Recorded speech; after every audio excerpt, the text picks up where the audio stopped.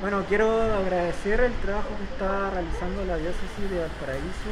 Y estamos hoy en el Garrobo, en la primera parroquia que se va a abrir a nivel regional y en el cual como autoridad sanitaria hemos realizado la fiscalización respectiva respecto a todas las medidas de higiene y seguridad que deben cumplir y hasta el momento sí las cumplen. Y otra de las cosas que quería destacar es el gran trabajo que han realizado para poder tener una trazabilidad a las personas que vengan a misa, dando cumplimiento también con la cantidad máxima de personas respecto al aforo. En ese sentido, esta parroquia ha pasado eh, todo, todo el cumplimiento sobre la normativa vigente y esperamos que las personas puedan volver al culto, pero de forma segura.